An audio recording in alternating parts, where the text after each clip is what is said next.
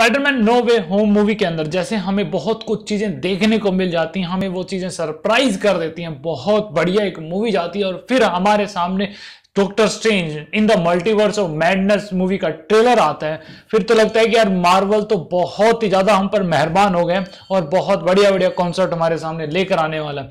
तो इतना इंट्रो काफ़ी है ये बताने के लिए, इस वीडियो के अंदर चर्चा किसकी होने वाली है? तो आज हम बात करेंगे Doctor Strange in the Multiverse of Madness movie के बारे में या फिर कहें डॉक्टर स्ट्रेंज टू यानी उसकी सेकेंड मूवी के बारे में। ये तकरीबन दो घंटे के आसपास है। जैसी मूवी से एक्सपेक्टेशन थी, जब जब इसका ट्रेलर देखा था, यार, बहुत ज़्यादा उम्मीदें लगा ली थी। सोचा था कि ये भी देखने को मिलेगा, सो वो भी देखने को मिलेगा और इतनी बढ़िया यह मूवी जाएगी। क्योंकि Spiderman No Way Home movie काफ़ी बढ़िया जाती है और एक सफलता के बाद तो हमें लगता है कि यार, अब और भी ज़्यादा अच्छी मूवी आने वाली है। लेकिन शुरुआत में बता देता हूँ, मूवी उम्मीदों पे बिल्कुल भी खरी नहीं उतरती है। कहीं ना कहीं हमें निराश करती है ये मूवी डेफिनेटली करती है। मुझे तो काफ़ी ज़्यादा बुरा लगा ये सब चीज़ें देखकर जो इसके अंदर दिखाया जाता है। खैर, सबसे पहले इसकी स्टोरी की बात कर लेते हैं। आपने इस मूवी का ट्रेलर देखा तो आप इसकी कहानी का अंदाज़ा बिल्कुल भी नहीं लगा सकते, क्योंकि डिफरेंट है, काफ़ी ज़्यादा डिफरेंट है। हमें ट्रेलर में बस छोटी मोटी छोटी मोटी क्लिप कहीं से उठा के दिखाई गई है। उसमें कुछ भी नहीं बताया गया है। हमें दिखाया जाता है कि डॉक्टर स्ट्रेंज जो है वो मल्टीवर्स के एक जाल में फंस गए हैं। वहाँ पर वो अलग मल्टीवर्स में जा रहे हैं और अपने अपने रूप से भी उनको देखने को मिलता है और एक शैतानी रूप उनका हमें देखने को मिलता है। लास्ट के ट्रेलर में हमें दिखाया जाता है। सच मानो, बहुत कुछ है मूवी के अंदर। वो तो कुछ भी नहीं है। तभी तो उसका नाम ट्रेलर रखा गया मूवी तो भी बाकी है। मतलब वो वाला, ये जो लाइन है वो बिल्कुल सही फिट बैठती है इस मूवी के ऊपर। तो यहाँ पर जैसा हमें विलन दिखाया जाता है। देखो सबसे बड़ी चीज़ जो मुझे ये लगी आ, कमी के तौर पे अगर मैं बात करूँ तो यार इन्होंने ना विलन दिखाने में बड़ी जल्दबाजी कर दी। बहुत ही आसानी से बहुत ही जल्दी से इन्होंने विलन को हमारे सामने इंट्रोड्यूस कर दिया। यार थोड़ा सा सस्पेंस बनाते थोड़ा सा इंटरेस्ट और लाते तब मज़ा आता ना यार विलन को रखते। अब डॉक्टर स्ट्रेंज उस विलन से कैसे निपटते हैं और मल्टीवर्स के कॉन्सेप्ट में कैसे फंस जाते हैं इन तमाम बातों को जानने के लिए तो आपको मूवी देख देखनी पड़ेगी। हम्म, इससे ज़्यादा अगर मैंने कुछ भी बताया तो सच कहूँ स्पॉइलर मिल जाएगा और यहीं पर स्टॉप कर देते हैं। आगे आपको जानना तो जैसे मैंने कहा मूवी जाकर देखो पता चल जाएगा। अब बात करें कि मूवी में अच्छा कितना है और बुरा कितना। देखो अच्छाई में बात करें तो मूवी के जो वी है वो काफ़ी अच्छे हैं। मूवी के अंदर फाइटिंग सीक्वेंस है वो भी आपको काफ़ी ज़्यादा पसंद आएँगे। मूवी में कुछ कैरेक्टर्स ऐसे दिखाए जाते हैं जो हमने सोचे नहीं थे। उनको देख कर भी काफ़ी अच्छा लगेगा। वो सरप्राइज़ सस्पेंस वो है। मुझे जब ये मूवी देख रहा हूँ तो मेरे अंदर ये सस्पेंस मतलब कि मतलब कि क्या क्या क्यूरियोसिटी थी। जानने की इच्छा थी, यार, इसके अंदर स्पाइडरमैन नो वे होम के तरीके से कुछ ना कुछ हमें देखने को डेफिनेटली मिलेगा मल्टी यूनिवर्स से।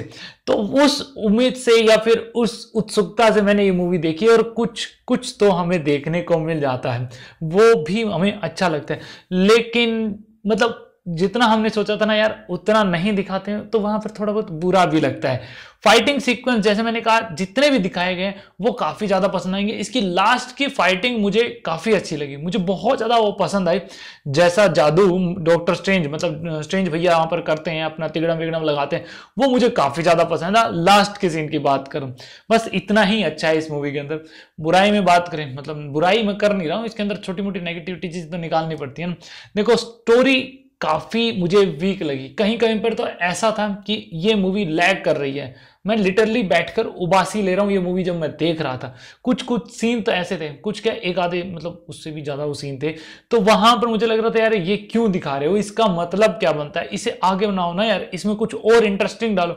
जैसा स्पाइडरमैन नो वे होम था। अब कहीं ना कहीं हमारा दिमाग उस मूवी के तरफ़ भी रहता है, क्योंकि हमने बहुत अच्छी चीज़ें उसमें देखी थी। और यहाँ पर जब वो चीज़ें नहीं देखने को मिल रही तो बुरा बहुत ज़्यादा लगता है। मूवी के मेकर्स ने दिखाने की तो बहुत ज़्यादा कोशिश की है दो घंटों के अंदर, लेकिन वो इतना कुछ वो दिखा देते हैं कि हम उससे कनेक्ट नहीं हो पाते हैं। सच में बहुत चीज़ें इसमें हैं देखने के लिए लेकिन वो कनेक्शन उनसे हमारा नहीं बन पाता है, जिस कारण हमें वीक स्टोरी लगने लग जाती है। फिर इसके बाद जैसे इसमें विलन का जो मोटिव दिखाया गया, वो विलन है, क्यों है, क्या उसके पीछे रीजन है वो पर्सनली मैं अपनी बात करूँ, मुझे वो स्ट्रोंग नहीं लगता। वहाँ पर कुछ और बेटर रीजन हो सकता था, और रीजन होता तो काफ़ी ज़्यादा इसे कनेक्ट हम हो पाते। वहाँ पर वो चीज़ें नहीं देखने को मिली। दूसरा यहाँ पर, तीसरा क्या, तीसरी यहाँ पर जो डॉक्टर स्ट्रेंज भैया हैं, उनके खास जादू के मूवमेंट यहाँ पे नहीं है यार। वो मुझे लगा कि यार बहुत बढ़िया सा इसमें देखने को मिलेगा, लेकिन वहाँ पर भी हमें ये चीज़ें निराश कर देती हैं। तो ओवरऑल अगर बात करूँ तो मूवी से एक्सपेक्टेशन तो बहुत ज़्यादा थी, लेकिन वो उम्मीदों पर उतनी खरी नहीं उतरती है।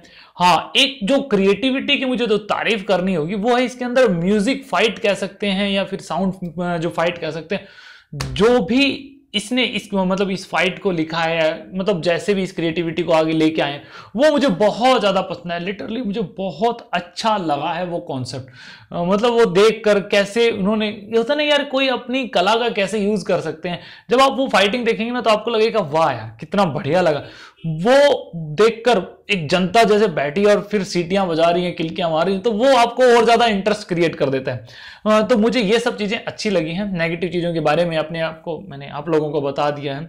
तो मेरी तरफ़ से तो इस मूवी को मैं देना चाहूँगा सिक्स आउट ऑफ़ टेन अगर आप लोगों ने मूवी देखी है तो प्लीज़ कौन मतलब कमेंट कर देना कि आपको ये मूवी कैसी लगी। और नहीं देखिए तो वन टाइम डेफिनेटली आप कंसिडर कर ही सकते हैं। मार्वल के फ़ैन है तो आप इसे वैसे भी मिस नहीं करने वाले हैं। उम्मीद करता हूँ कि आने वाली जो थोर की जो नई मूवी है, वो काफ़ी ज़्यादा अच्छी है। हाँ हिंदी डबिंग के बारे में बात करें, क्योंकि मैंने इसको हिंदी डबिंग में देखा इंग्लिश डबिंग में इसको नहीं देख पाया क्योंकि रोकड़े लगते हैं ना यार डबल डबल मतलब मूवी देखने में तो उतने नहीं होते हैं, एक ही टाइम के होते हैं। तो हिंदी डबिंग काफ़ी डिसेंट है, मुझे बहुत अच्छी लगी है। तो बस आज के लिए इतना रखते हैं इस वीडियो में। Thanks for watching this video मिलते हैं नेक्स्ट वीडियो में। जय हिंद।